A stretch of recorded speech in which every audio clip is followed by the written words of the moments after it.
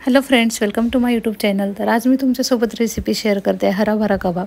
तर त्यासाठी मी इथं मस्त फ्रेश असा पालक घेतला आहे त्याला त्याची आपल्याला पानं घ्यायची आहे त्याला स्वच्छ धुवून घ्यायचं आहे आणि उकडत्या पाण्यामध्ये त्याला एक पाच मिनिट बॉईल करून घ्यायचं आहे. तर त्यासाठी मी पालकाची अशी पानं तोडून घेतली आहे त्याला पाण्यामध्ये उकडायला ठेवलं आहे एक पाच ते सात मिनटात हा पालक उकडून होतो. नंतर त्याला आपल्याला काढून घ्यायचं आहे पाण्यातून आणि थोडा थंड होऊ द्यायचं आहे बारीक करण्यासाठी म्हणजे त्याची पेस्ट बनवण्यासाठी. तोपर्यंत आपण चटणीची तयारी करू. तर चटणीसाठी मी इथं घेतले फुटाने थोडे कोथिंबीर घेतली आहे टोमॅटो घेतला आहे नंतर मिरची घेतली आहे आणि त्यामध्ये थोडं आपल्याला घालायचं आहे आलं. आणि चवीनुसार मीठ. आणि याची आता आपल्याला पेस्ट करायची आणि आपली चटणी रेडी आहे तर ही चटणी तुम्ही दुसऱ्या कोणत्या म्हणजे पराठा वगैरेसुद्धा सोबत खाऊ शकतात. खूप छान लागते. नक्की ट्राय करून बघा. आणि अगदी सोपी आहे बनवायला. कमी वेळात पण टेस्टी अशी चटणी होते. तर आता चटणी रेडी आता आपल्याला तयारी करायची आहे हराभरा कबाब. तर बघू शकता चटणीला कलरसुद्धा छान असा ग्रीन आलेला आहे. आणि आता आपल्याला हराभरा कबाबची तयार क तयारी करायची आहे. त्यासाठी मी मिक्सरच्या भांड्यामध्ये घेतलं आहे पालक जो आपण बॉईल करून घेतला आहे त्यामध्ये घेतले तीन ते चार मिरची. नंतर यामध्ये दोन ते तीन आपल्याला लसणाच्या पाकड्या आणि थोडं आलं असं घ्यायचं आहे आणि याची मस्त प्युरी करून घ्यायची आहे बारीक अशी. प्युरी झाल्यानंतर आपल्याला यामध्ये घालायचे आहे वाटाणे फ्रेश असे वाटाणे हिरवे मटार आपल्याला यामध्ये घालायचे आहे.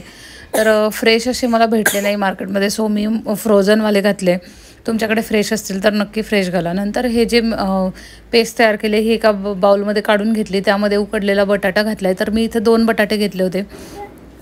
दोन ते तीन बटाटे तुम्ही घेऊ शकतात. आणि थोडं बेसनाचं पीठ मी इथं भाजून घेतलं होतं तव्यावर ते घ्यायचं आहे चवीनुसार मीठ ॲड करायचं आहे नंतर यामध्ये मी घातले जिरे पूड. तर मी अशी जिरे पूड बनवून ठेवते. जिरं भाजून घेते थोडं आणि त्याची पूड बनवून ठेवते. आणि त्यामध्ये आपल्याला नंतर घालायचं आहे तांदळाचं पीठ थोडं आणि तिखट. मीठ चवीनुसार आणि धने जिरेची पूळ घालायची आहे. थोडं जिरं घालायचं आहे कच्चं. आणि आता हे आपल्याला छान असं मिक्स करून घ्यायचं आहे. तर याचा असा गोळा तयार होतो. गोळा तयार झाल्यानंतर आपल्याला छोटे छोटे बॉल्स ह्याचे तयार करायचे आहे. वड्यासारख्या छोट्या वड्या. आणि मग आपल्याला त्या फ्राय करायचे की आपले हराभरा कबाब रेडी आहे. तर अगदी बनवायला खूपच इझी आहे.